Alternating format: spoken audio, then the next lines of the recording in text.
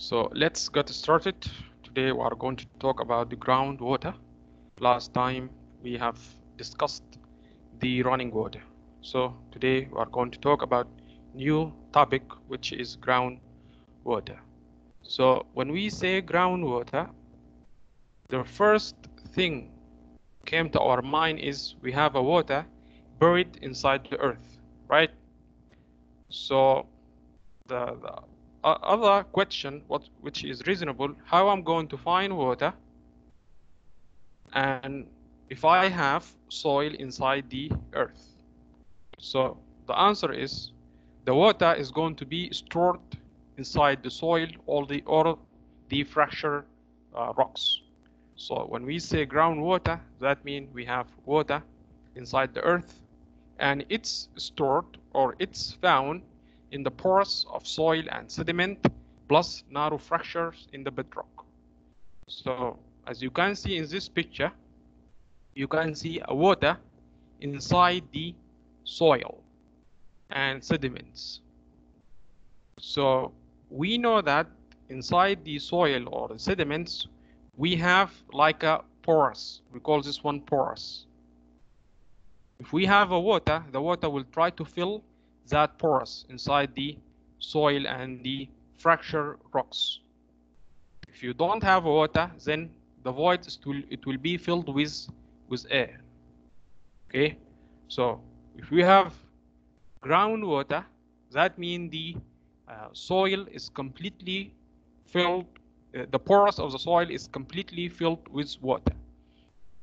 And if that is the case, we will call the region which uh, all the pores are completely filled with the water, we will call it saturated zone. Okay, so we call this saturated zone because the pores are filled with, with water. And the upper zone, we call this unsaturated zone, which means that the pores are not filled with water, probably is going to be filled with air. And the line between the saturated zone and unsaturated zone, we call this line water table. So the water table is the upper limit for the saturated zone.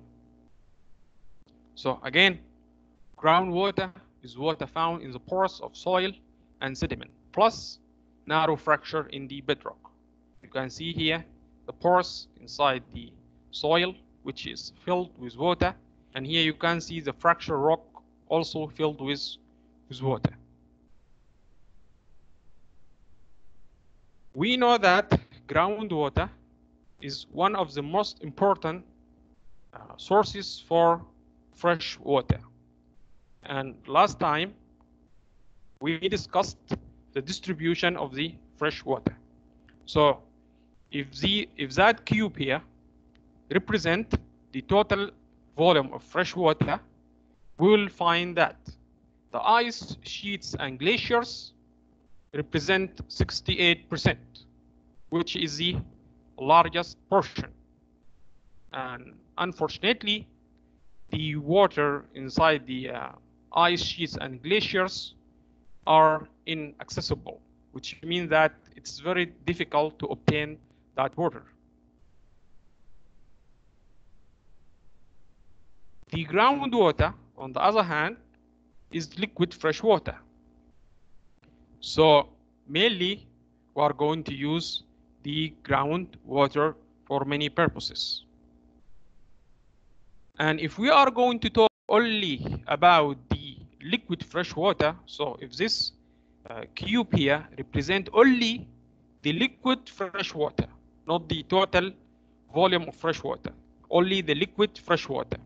We're gonna find that the groundwater represents about 96% of all the liquid fresh water. The rest, which is the 4%, represent the water inside the soil moisture, water vapor in the atmo uh, atmosphere, and water in the rivers. So all, all of these them combined together represent only 4% of the liquid fresh water, while the groundwater represent 96%. So it's fair to say that groundwater is the largest reservoir of fresh water that is readily available for human. So in term of geological importance, the groundwater is also very important because it acts like erosional agent.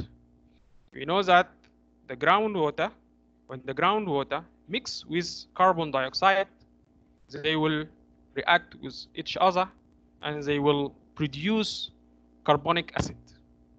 And we know that the carbonic acid is going to dissolve some rocks like the limestone.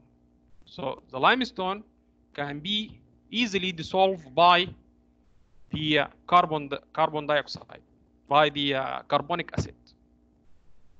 And as a result, we are going to have caves like this one, or you can have sinkholes like this one.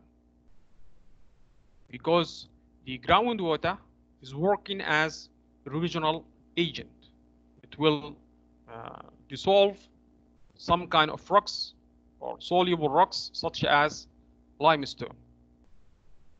Another important uh, feature for the groundwater, the groundwater work as uh, equalizer for upstream flow, which means that if this one is the groundwater, and here we have, and here we have a stream or a river. So we know that in dry periods, the level uh, of the river or the stream is going to be reduced. In that case, the groundwater will try to feed the uh, stream with water again. So the groundwater is just like a storage that sustain streams during dry periods. So in geological point of view, groundwater is an erosional agent and it's equalizer of stream flow, which means that in dry periods, the groundwater will try to uh, recharge the stream again with water. So up to that point, any questions about the groundwater?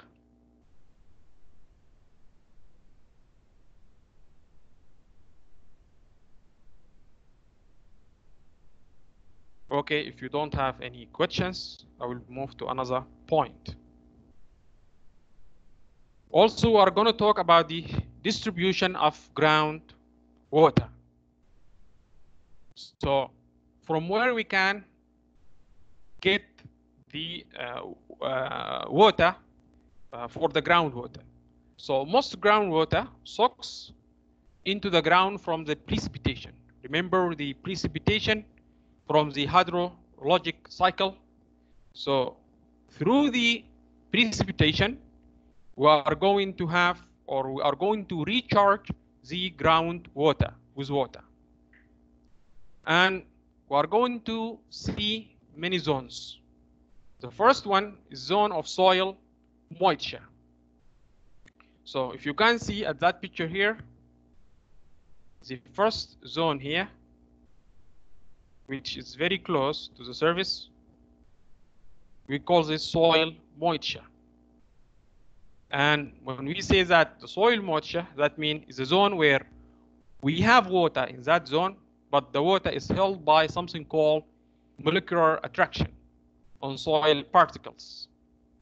So the, the, the particles attract with, with each other in order to hold the water uh, within that region.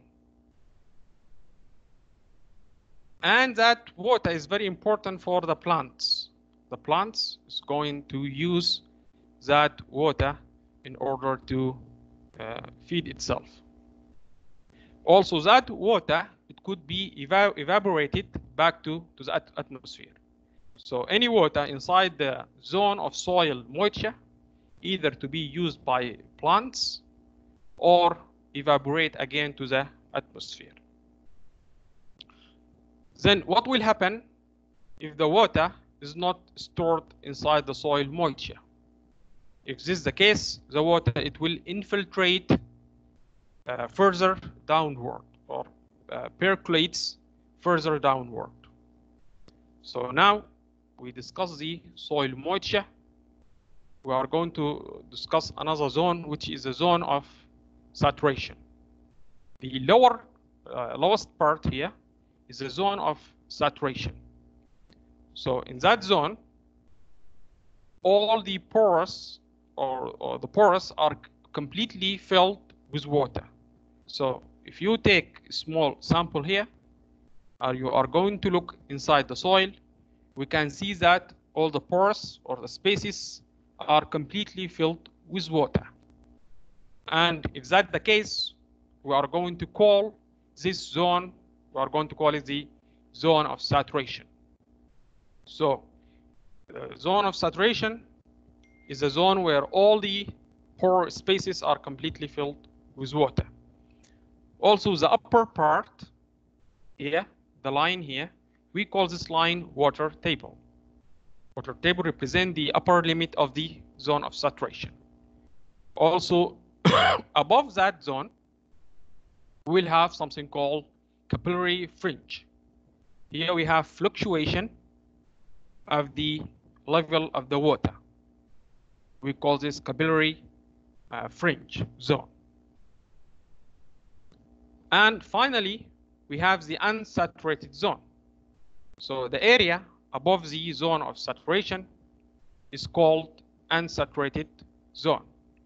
And we call it that because if you if you take a sample here, you are going to magnify the sample, you are going to find that the pores are not completely filled with water. Actually, we're going to find air and a little bit water inside the pores of the soil.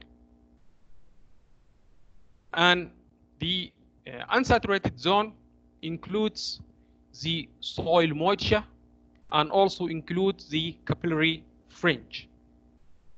In other words, any region above or any area above the zone of saturation is unsaturated zone. And that includes soil moisture and capillary fringe. Also, we are going to have variation in the water table. Again, that line here, which represent the upper limit of the zone of saturation, is the water table. And that line is not constant. It varies with many factors. Okay, so the depth is highly variable. The depth of the water table it varies from year to year, from season to season. For example, in the summer or in dry periods, the water table level is going to be as low as possible, while in other seasons where you have heavy precipitation, the water level is going to be as high as possible. We need to know that precipitation variation affect the depths of the water table because if you do remember in the first lecture, in the first slide, we said that uh, the recharge process of the groundwater is going to take place by the precipitation. So any questions so far about the zones of the groundwater, the zone of saturation, the unsaturated zone, the capillary fringe, or the water table, or the soil moisture? Uh, let's move on to another point. So also it's very important to monitor the water table. Remember also with the running water, we have devices in order to monitor the uh, running water. And again, we are going to monitor the water table. So do you remember why we are going to do that?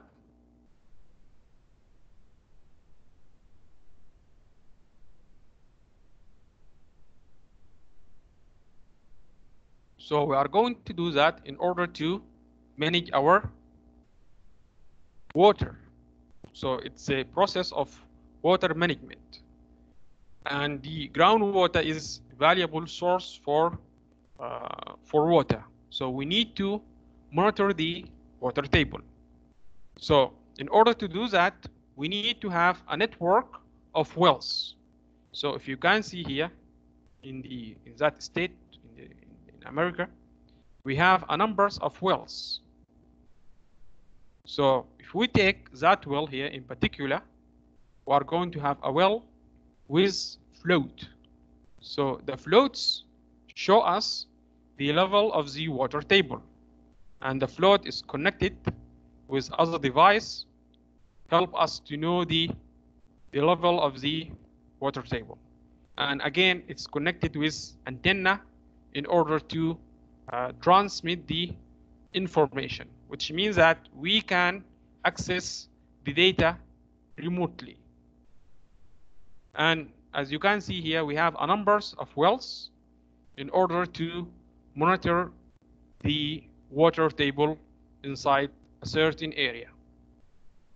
And in this graph, we have the season in the x-axis, and here we have the level of the water table in y-axis.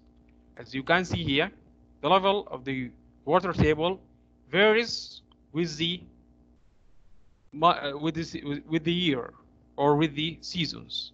For example, between May and November, we have decrease in the level of the water table, mainly because in that period, the groundwater will try to recharge these streams. It's going to feed the streams. And if the groundwater will try to feed the stream, we are going to have a drop in the level of the water table. While from November to March here, we are going to see increase in the water table, mainly because we have precipitation. So when we have precipitation, we are going to have uh, a rise in the level of water table.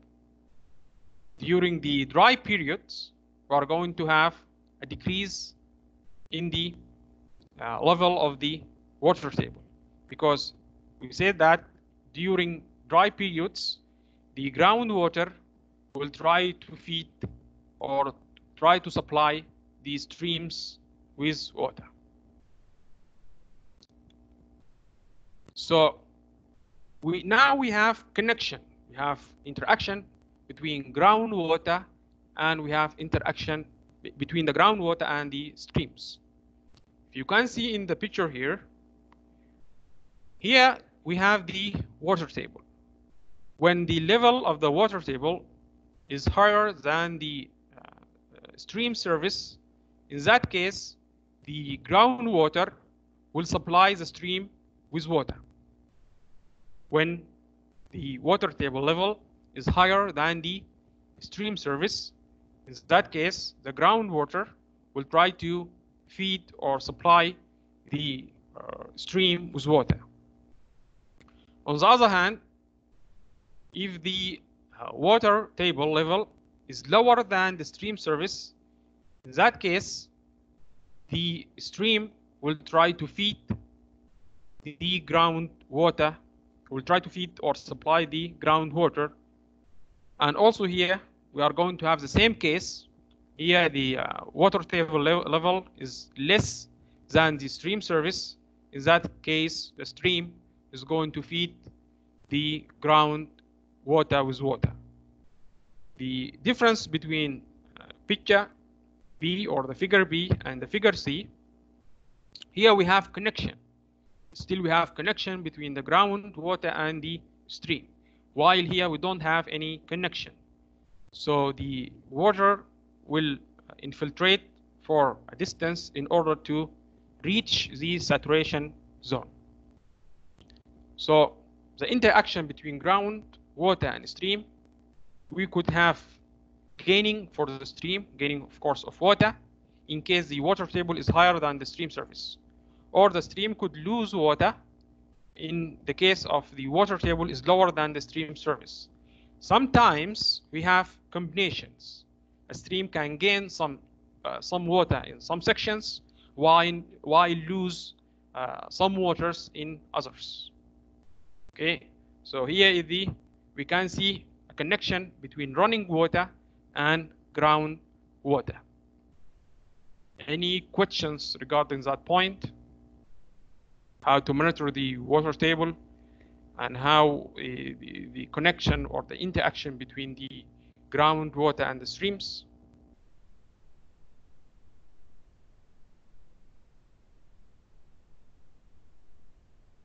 Okay, let's move on.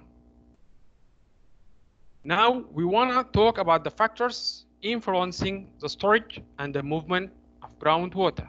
In other words, we want to know how much the soil is going to store water and we want to know also how much the water is going to move inside the soil. So in order to uh, know this, we need to understand the first factors. The first factor is the porosity. When we say porosity, it means that how much the water can, how much the soil can store water. And to understand this, we need to look at that figure here. So here in that uh, beaker, we have sediments of 1000 milliliter. Here we have another beaker with also 1000 milliliter of water. Now try to fill uh, the first beaker here with the with the water from the second beaker. Assume that when you are pouring the water from here to here, assume that 500 milliliter stored inside the first beaker here. What does it mean?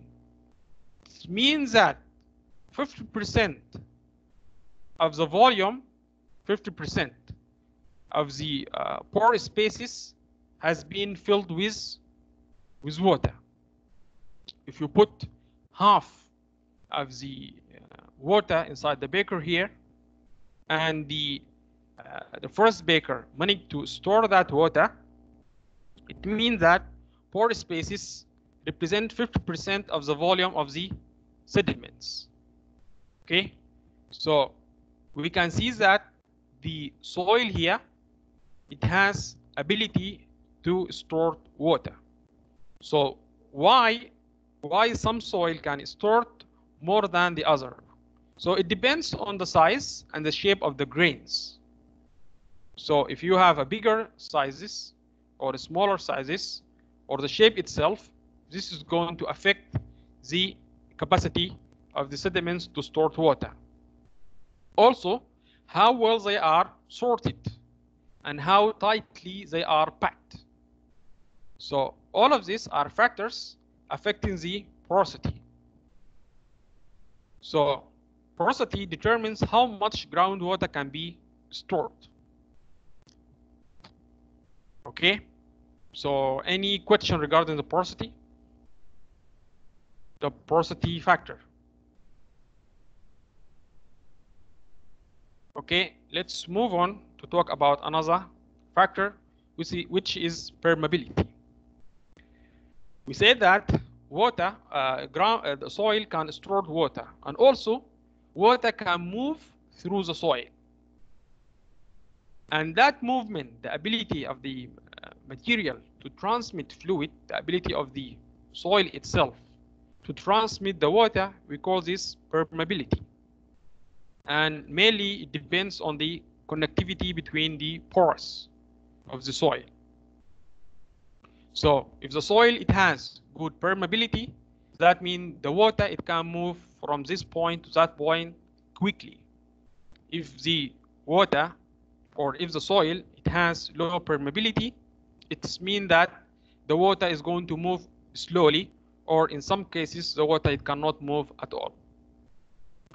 So the permeability, we have what's so-called aquitard. When you have aquitard, it means that you have impermeable layer, which means that the layer it has very low permeability. If you can look at that figure here, we will say that this layer uh, is it has high permeability. which means that the water can move freely in that zone. Here we have aquitard. When we have aquitard, that means the water cannot move freely in that zone. And the water is going to be prevented from, from moving from that area to that area because this one is aquitard. So when we say aquitard, it means that I have impermeable layer that hinders or prevent water movement, like the clay. If you have the clay, then the movement of the water is going to be very difficult. On the other hand, we have aquifer. The aquifer, it's opposite to the, uh, to the aquitard. It means that I have permeable rock strata or sediments that transmit groundwater freely, like the sands and the gravel. So if you wanna try this by yourself, try to try to have a tube filled with clay and another tube filled with sand and gravel. And try to put water on the top of the tube. Okay so you have a tube. In the middle of the tube uh, tube number one put clay. In tube number two put sand or gravel. Then put water inside the upper part of the tube tube one and tube two.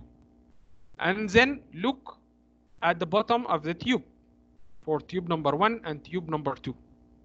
So tube number one it contains clay. Tube number two it contains sands or gravel. Then if you are look from uh, from from the bottom of the tube then you will notice what? Anyone can guess uh, what you can notice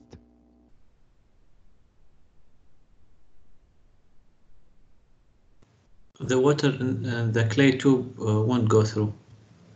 will not go through or you are going to find only small amount of water Yes. what about the tube number two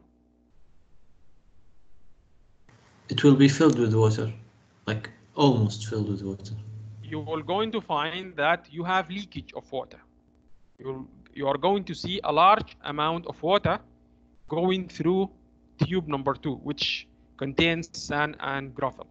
And we call this property or this factor is permeability. Okay. Also, when you are going to study soil mechanics, one of the experiment that you are going to have, you are going to measure the permeability factor. Okay, so remember we have the porosity is the ability of soil to store water, and we have the permeability, the ability of soil to transmit water. And we need to know that groundwater moves very slowly. If you are going to talk about average rate, it's like four centimeter per day. So it's very, very slow. And the gravity, the force of gravity and the pressure differences is going to control the movement of the groundwater. So if you can see here, here we can see the lines which represent the movement of groundwater. So we are going to have the discharge area and we are going to have recharge area. In the recharge area, we are going to recharge the groundwater with, with water. While on the in the discharge area, the groundwater will try to feed the stream. So in that region, we are going to gain water, and here I'm going to lose water. So the groundwater is replenished, in the recharge area. So it's going to be renewed here in the uh, recharge area. And the groundwater flow back to the surface in discharge area in order to feed the stream. And in that region, I have high gravity force the water to go inside uh, the, the, the soil, while here we have a high pressure, or the, the, the, the pressure is going to move the soil in order to feed the uh, stream with water.